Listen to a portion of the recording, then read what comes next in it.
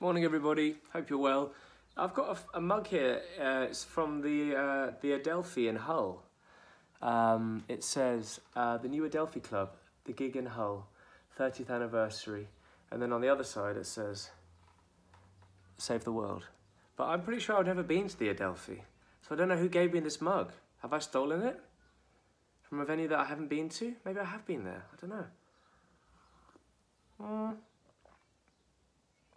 I'm not normally one to steal things, but maybe maybe I am. Um, Wednesday night was really fun. We did the live whiskey and we did a quiz for the first time.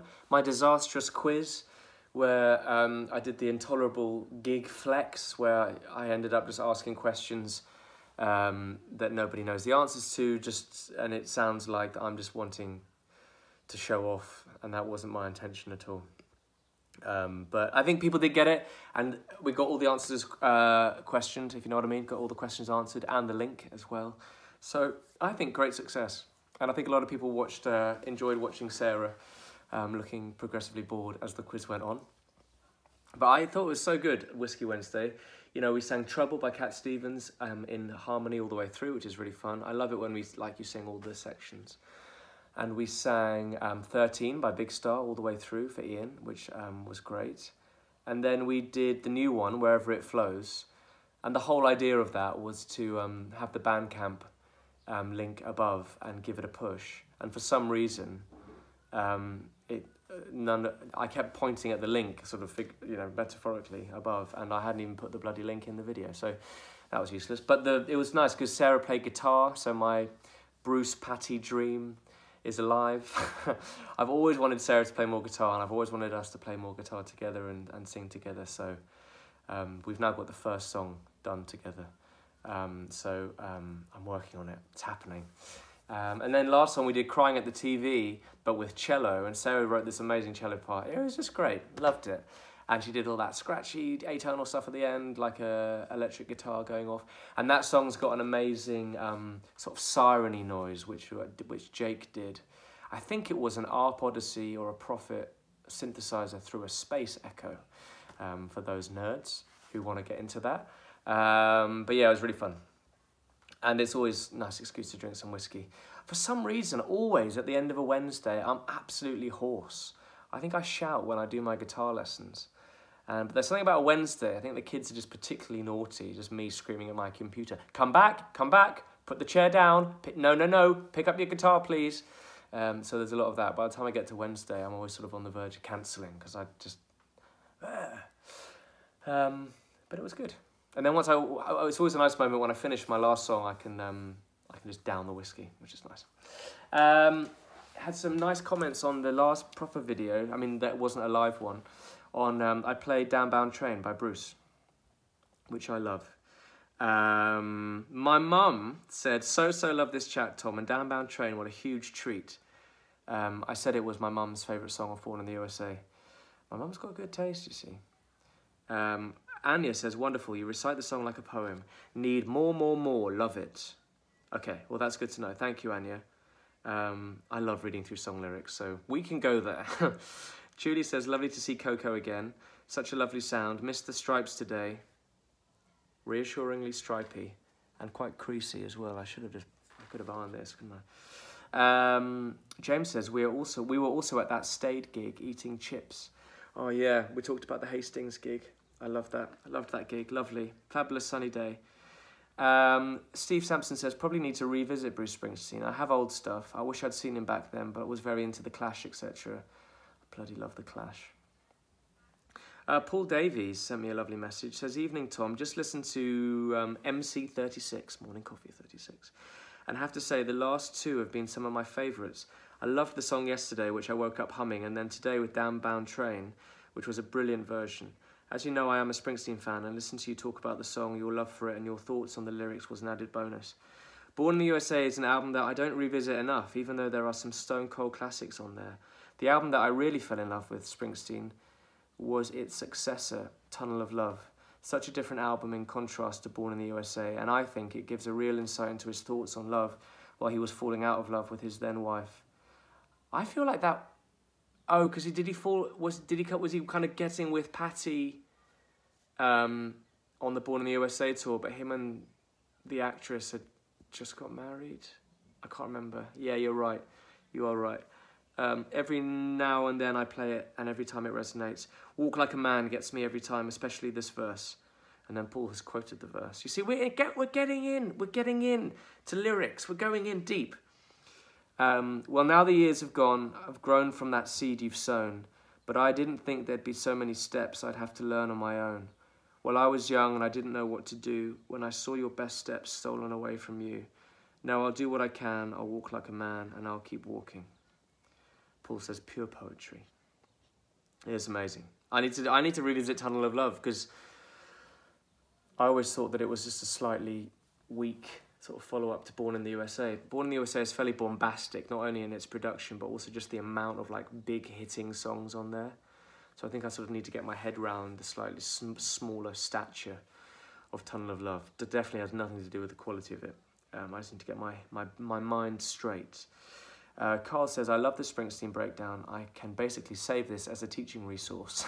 Carl works at Leeds Beckett Uni, and Carl invited me to go to Leeds Beckett Uni, um, where we eventually ended up recording All Change. So I would never have made that album without Carl, and I never would have met Jake and Jack and Igor and Niall and Iona and Declan and Lewis and Zach and all the people that helped make that album. Um, so, Carl, big up yourself. Um, I got into an interesting chat with Chris Grandin. He said, "Enjoyed this, Tom. Cheers." It's funny how when we interpret, funny how we interpret lyrics in different ways. Many times there's no right way, I guess. I see the car wash line. Okay, this is the car wash line in Downbound Train. Um, maybe go and watch yesterday's uh, that episode, um, the one before the live whiskey one. Um, but I was saying how much I love the line. Um, now I work at the car wash. Now I work at the car wash, and all it ever does is rain. Don't you feel like you're a rider on a downbound train? Um, I thought it was like talking about how because he's constantly washing cars, he's constantly in this mist of rain, and so it's like almost um, like a blue collar version of the cloud following above your head, if you know what I mean, like bad mood, bad luck, whatever. Chris says, I see the car wash line as him being so out of luck that he's got a new job at the car wash, and then because it doesn't stop raining, no one wants their car washed in the rain. I get that, Chris. And actually, for a bit, I thought, yes, actually, you're probably right. But now I think I'm right, Chris, because if you've got a job at the car wash, you're just an employee at the car wash. If no cars are coming, you're probably still going to get paid, right? You're not on like a per car, unless you've started your own car wash business. He doesn't say that. And now I've started my own car wash business and all it does is rain. So I don't know. But then is a car wash like just like working the machine that the cars drive through, or is it actually like power hose and and and um, and sponges? Because I think it's probably that. I don't know. I don't know. Lyrics, eh? Um, Chris says a brilliant line though. Whatever it paints. Agreed. Joe says yes, yes. Downbound Train is one of my favourite Springsteen songs. Great version. I grew up with Born in the USA, but it was never one of my favourites. In fact, it put me off him. Tunnel of Love was my proof that he's a genius. Since realised it's brilliant. Another underrated masterpiece is Across the Border. I need to get into that one. Um, and then loads of people sharing lovely Springsteen tips. Um, da, da, da, da, da. Um, oh, and then we got um, and then we got into whiskey. Um, Nick says, born in the USA, Darlington County. What did Wayne do that was so wrong? Yeah, Wayne goes missing, doesn't he, in Darlington County? I don't know, we're getting pretty deep in there. Gary says Brazilian Dreadnought doesn't doesn't just sound like a guitar. Oh, sorry, he says Brazilian Dres Brazilian Dreadnought just doesn't sound like a guitar. But may your dream come true. I think that's a reference to the Brazilian bit. Thanks, Gary. Um, Padders says, no stripes, this doesn't feel right. I'm here for you now. Um, Michelle says, well, at least the mug has a stripe. That is true. Uh, Rose says, yes, I think you'd mentioned in a past coffee episode you might give this song a go, and I'm so glad you did. Definitely one of my Springsteen top favourites as well. Such a strikingly vivid one. Yes, definitely, Rose, you're right. All right, well, let me play a song um, and talk about it a bit. This is, um, this is off uh, What Did You Want to Be?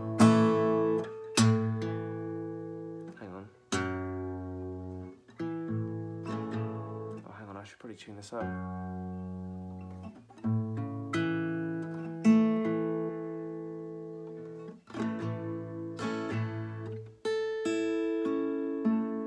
should have maybe done this before I came on. That's good enough for rock and roll, isn't it? Oh, the song's actually called Rock and Roll. I didn't do that on purpose. Anyway. Found me some friends and we made a band. Sent our heart and soul to a middle-aged man. He emailed us back and said we didn't understand. But what does he know? He's just a businessman. We carried on regardless and we played some shows. And texted all our friends and everyone we know. Built it up steady and we built it up slow.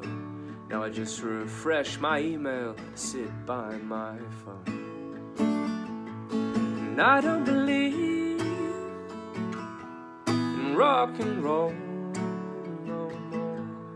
I don't believe in rock and roll. I don't believe rock and roll no more. I don't believe in rock and roll no more. Got all our friends to London in a minibus. Made it look like 30 people came here just for us. We got to industry on guest list and it won't be long. Our friends are in the front row singing along. And I don't believe in rock and roll no more. I don't believe in rock and roll. I don't believe in rock and roll I don't believe in rock and roll no more. Don't talk about it, but we don't have a band no more. Just concentrate on work and getting drunk and bored. We flick through photos now and then of everything we did. And laugh at all the other local bands being stupid kids. But I don't believe in rock and roll. I don't believe in rock and roll. I don't believe in rock and roll. I don't believe in rock and roll no I don't believe in rock and roll no more. I don't believe in rock and roll no more. You have to excuse the croaky voice. Um, right, that one. Um, I remember when I um, when I released this album. Um, we'd done the video for It's Dark Now at the at one of the schools I teach at with kids, and so I felt like the school was kind of invested in the album a little bit because they all kind of knew I was doing music, and um, so when the album came out, I put a whole box of the C- album CDs in the staff room, and all the teachers took a copy, and I gave one to every kid that I taught, and I signed loads of them, and it was really fun. And one of the teachers said to me, oh, "I really like the album, but it's very sad that song about giving up on music and rock and roll and stuff." And then I sort of used to do an ad lib on stage where I'd like joke and say, "Yeah, you know, being in a band is sad." I've talked about it before, but it's I guess the song is about, you know, the the the voice in the song. I don't believe in rock and roll no more. He's saying it because it's like chewed up and spat him out. Um, and it is me in a sense. Like everything up to the final verse is me, um, except that just I've kept going. But I think it's very easy. You know, it's you know I remember about six months ago, there was um, the Musicians Union I think ran a piece that said 78% of musicians um, have suffered in the past or are suffering with mental health issues. And uh, a friend of mine who runs a venue said, Where are the other 22% hiding? Um, i.e., everybody in the music industry has some problem because it's just like the lifestyle is horrific. The late nights, the drinking, the, um, the long days, um, and just the emotional turmoil of doing it all, I guess. Um, it does chew you up and spit you out. Um, found me some friends and we made a band. Sent our heart and soul to a middle aged man. I so remember just emailing record labels. And then every time I made some new stuff that I really liked, emailing them again and again and again. I actually would never get replies. He emailed us back and said we didn't understand. It would be nice to get an email back. The original lyrics were, What the f does he know he's just a businessman? And then eventually came, But what does he know he's just a businessman? We carried on regardless, that's important. Gotta carry on. We carried on regardless and we played some shows. Texted all our friends and everyone we know. Every gig, getting friends down. Gotta fill the room. Um, carried on regardless, we played some shows. Texted all our friends and everyone we know. We build it up steady and we build it up slow. 12 years in, still building. Um, I keep forgetting the words. We build it up steady and we build it up slow. Now I just refresh my emails and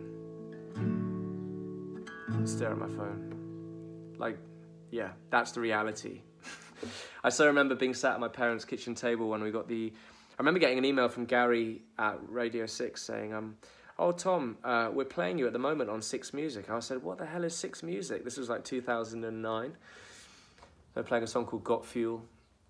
And I so remember being at that same kitchen table and getting the email from Glastonbury Emerging Talent Competition saying that we were in the final and that could we come down to uh, Pilton Working Men's Club and play in front of Michael and Emily Eavis. And then the winner on the night gets to play Glastonbury. And that's how we got to play Glastonbury. We came second on the night. Um, but just hours in front of MySpace and then Facebook and then Twitter and Instagram. I don't believe in rock and roll anymore. Um, got all our friends to London in a minibus. Made it look like 30 people came here just for us. We've got two industry on guest list, but it won't be long. And all our friends are in the front row singing along. When you lived in Kent, when you were from Kent and you weren't from London, because all the cool bands were from London, right? And you weren't from London, and all the industry were in London as well. So if you ever wanted to get like a record label down to come and see you, or a booking agent or anything, they were all, they'd always be, say like, when's your next London gig? Even though Kent was like half an hour away to get to the Tunbridge Wells Forum, but they were never going to do that, were they? Um, so you'd always have to try and get people down to the gig. And a lot of Kent bands would always put on minibuses or try and arrange transport for fans so they could come down. And then when the A&R guy turns up or the industry guy, he's like, oh, the, the, the venue's full. You know, labels often just sort of follow what's popular already. So that was kind of a, a tactic that a lot of bands did. Got to industry on guest list and it won't be long. Like, they're coming, they're going to come, they're going to come. Like, I still remember that feeling of like driving home and um, you know, everyone in the band trying to sort of like, that was a good gig, guys. We played really well. It's like, oh, the guy from you know EMI didn't come, but he'll come next time. Blah blah blah. It's like keeping everyone, you know, keeping everyone going. And then the last verse, I guess, isn't my story, but you see it all the time. It might yet be my story. don't talk about it, but we don't have a band no more. Just concentrate on work and getting drunk and bored. That's just life, right? That's just what happens.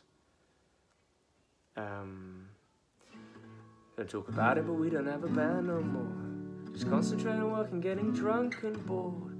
We flick through photos now and then of everything we did. And laugh at all the other local bands being stupid kids. You were a stupid kid. Like, being a stupid kid is the best. Like, that time of your life is the best. Band practice is the best. Gigs are the best. Traveling to gigs are the best. It's like, yeah, sometimes you miss home and you're tired the next day. But when you're on stage, it's the best. So it's that idea of that character, like, he's like, oh, don't really do music anymore. Like, my guitar hasn't got any strings on it. Like, uh, and it's all, you know, it's because he's been chewed up and spat out, I guess. he's still flicking through photos of like gigs that he used to do while he's sitting at work or whatever. I guess that's the character that was in my head. And the worst bit is about that character is that how he's just like laughing at all the other like bands, like oh rubbish, I used to be in a band like that. When someone's like, often when someone's horrible to you about your music, often what's coming next is that they make music as well. You're like, oh, okay, let's see what's happening here. yawn, yawn, yawn. Um, but so yeah, and then I don't believe in rock and roll anymore. I always like this chord, uh, this chord change at the begin at the end. I don't believe But then on the last chorus it goes, I don't believe in rock and roll no more. I know where does it go? I can't remember now. I don't believe in rock and roll no more. I don't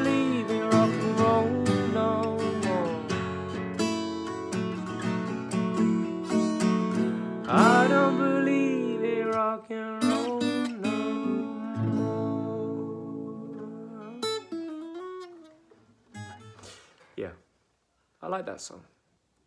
The mix on the album is really good as well. And I remember the drum um, was sounding a bit, um, a bit funny, the snare drum in the recording. So Tim said to Tom, Tim Rice, obviously the producer, said to Tom Howell, the engineer, oh Tom, put that magic snare sound on the snare drum. And like, it, uh, Tom then went onto his desktop and found this folder, and he pulled this magic snare sound and he added it to every snare drum on the song, and the snare sounds so good. And now when I listen to some Keen songs, I can hear that magic snare drum because it is a monster. Talking of Born in the USA, it's kind of up there. Anyway, I love that song. I hope that wasn't too boring. We're back on Saturday morning with um, live morning coffee, 10 a.m. And it would be lovely to see you if you can join. They're always more fun live. If you can join live, um, do on Facebook. And on Sunday, there's a new song out, which I'm so excited about. The artwork's being done by one of my favourite illustrators, and it's going to be awesome. So thanks for everyone coming along for the ride. If anybody can tell me who gave him this Adelphi mug, that would be good. And um, yeah, have a nice uh, Friday. I'll see you tomorrow morning, 10 a.m. See you then.